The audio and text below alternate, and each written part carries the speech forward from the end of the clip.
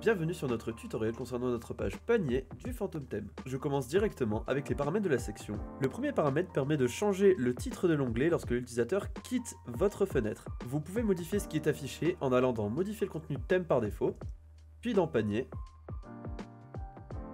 et dans l'attribut Keep on Page, vous pouvez modifier le titre en question. Ensuite, vous avez à disposition le fait d'avoir jusqu'à deux colonnes sur la page panier. Vous pouvez définir la largeur de la première colonne, soit deux tiers de la page, soit 100%. Si vous souhaitez mettre 100%, voici l'affichage que vous aurez. Ensuite, vous avez à disposition le fait de fixer le bloc total bouton d'achat sur la colonne de droite, comme ceci, ou encore de fixer le total bouton d'achat en bas d'écran quand vous êtes sur mobile, comme ceci.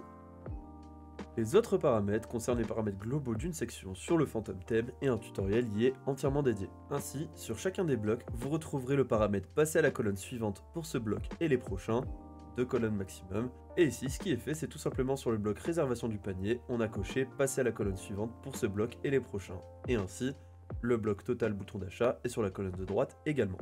Passons ensuite au bloc. Vous avez dans un premier temps le bloc en tête, qui est ajoutable comme vous le souhaitez, sur celui-ci, vous avez à disposition le fait d'afficher le titre ou non, car vous pouvez très bien afficher le titre de votre modèle de page dans une autre section, comme par exemple une section diapositive. Vous pouvez ici, si vous le souhaitez, styliser votre titre en HTML, également choisir son SEO, sa couleur et mettre un titre avec des lignes ou non. Les paramètres classiques d'alignement bureau et mobile sont disponibles, également le fait d'afficher un fil d'Ariad et si oui en dessous ou au-dessus du titre, et des animations. Dans les autres blocs de base de cette section, on retrouve le bloc contenu du panier.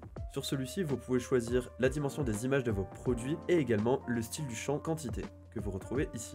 Vous pouvez, si vous le souhaitez, afficher les sélecteurs de variantes afin que le client puisse directement modifier sa variante son panier. Ensuite, si son panier est vide, vous pouvez lui afficher jusqu'à 3 collections vers lesquelles il sera proposé d'être redirigé. Enfin, pour terminer les blocs de base, nous avons le bloc total bouton d'achat avec plusieurs paramètres. Le premier étant d'afficher, si vous le souhaitez, un champ note pour la commande, celui-ci. Le deuxième, un champ code promo avec plusieurs options à savoir que le calcul de la déduction du code promo ne peut pas se faire dans le panier, c'est obligatoirement dans le passage en caisse, c'est une des restrictions de Shopify. Ensuite, vous pouvez également choisir une icône font personnalisée sur le bouton commander, un tutoriel étant entièrement dédié sur le choix des icônes. L'affichage des icônes de paiement est disponible ainsi que plusieurs styles, et enfin, une partie contact, mise à disposition si vous le souhaitez, avec un titre et diverses informations utiles pour vos clients. Vous pouvez également avoir, si vous le souhaitez, un bloc séparateur où vous avez le choix de la largeur du bloc, également son alignement, mobile et bureau, et enfin l'épaisseur de sa bordure ainsi que sa couleur un bloc annexe que vous retrouverez sur tous nos packs et le bloc réservation du panier sur lequel vous pouvez indiquer au client que son panier est réservé pour une durée limitée, ce qui incitera à la conversion. Vous pouvez choisir l'alignement bureau et mobile sur ce bloc. En ce qui concerne le texte, celui-ci est modifiable de même directement dans les paramètres panier que vous retrouvez juste ici.